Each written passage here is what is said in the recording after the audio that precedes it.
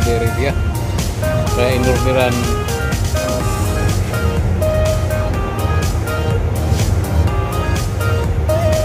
Galing ko sa Pilipinas ang parts ng buhay yung guys oh. Tagal-tagal na ito nakatambay. Eh, ngayon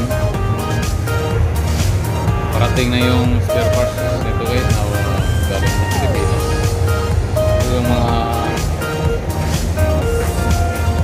mga makina guys yung na disassemble guys yung mga parts niya guys oh. pero yung black niya guys nandun sa machine shop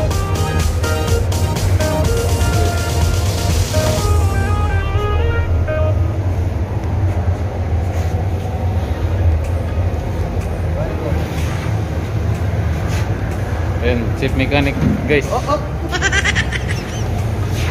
Iwan ko lang guys kung mababalik pa to. Ayan yung transmission siya guys. Oh. Hydraulic yun siya guys.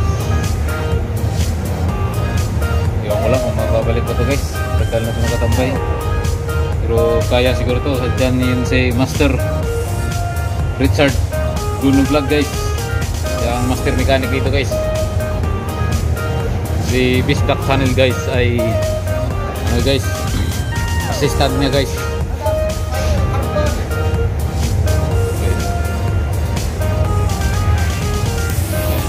Ito po yung workshop namin guys na kami nakatingga guys. Kasi yung mga spare parts. Wala pa ito pa dumating ito kabugat yan guys. Meron yan. Problema guys. Ito. Okay.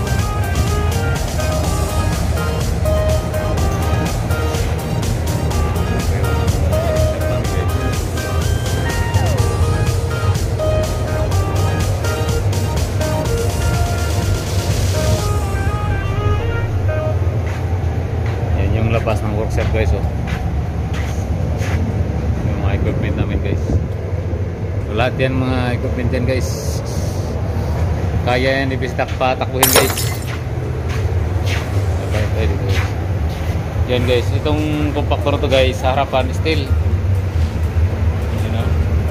Steel siya, pero sa likod tire. Ano to guys? Double ah, purpose compactor to guys ng ano espalto guys. Hindi po to pang kuan pang espalto po to siya guys.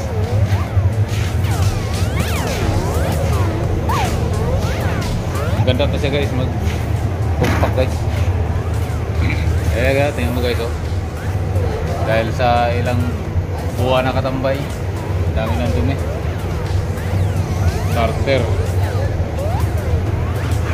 pero malapit itong mabuo guys kasi yung spare parts parating na guys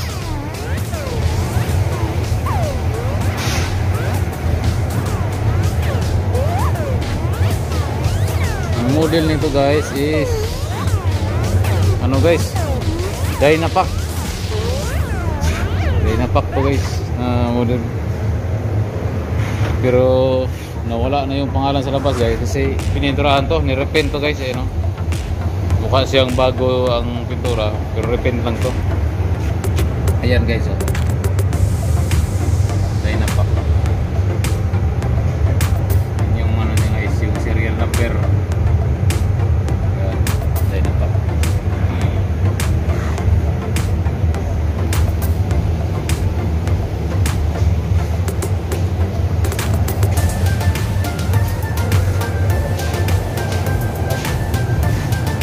Lahat ito guys, ito function ito guys is hydraulic. Oh, hydraulic isa. Yung mga linya niya. oh.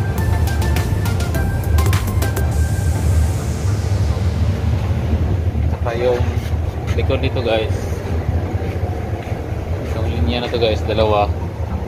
Itong isa, diesel. Itong isa, tubig. Kasi pag una mong gamit pag nag-aspalto guys gagamitan mo siya ng diesel para hindi dumikit yung aspalto at pagkatapos guys tapos mo na siyang dieselan patakbo patakbuhin ah, uh, kumpakin yung buong aspalto tubig muna tubig na gamitin. Pang pakinis na yun siya guys. Yan oh. diesel at saka tubig.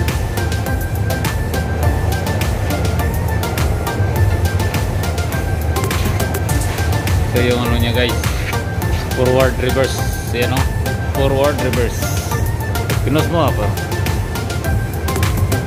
Madali lang to gamitin guys. Madali lang to operatan guys. Ang ano dito yung technique lang pag compact kung paano mo siya gamitin at saka yung paano mo pagandahin yung tinatrabaho mo sa compactor na to. Pero kung sanay ka na guys, eh, simple na lang to gagawin. Simple na lang gawin yung trabaho. Sa mga baguhan, talagang mag-a-adjust ka pa hanggang ilang araw, buwan. Pero pag veterano ka na sa ano guys, compaction, sa operator ng roller, wala na. Dali na to. Ito guys, nilagyan ng nilagyan ng pangkayod guys para hindi dumikit yung asfalto. Pag nag-asfalto kasi guys, dumidikit minsan kaya nilagyan ng pangpakayod. Ito, ang original nito guys, nawala na, nan natanggal na.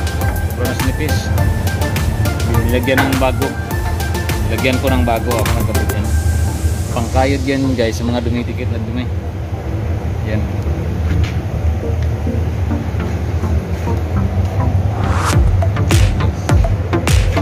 Ito yung mga kasama ko guys. Oh. Guys. Mga kasama. Pero sa site yan sila. Salamat guys.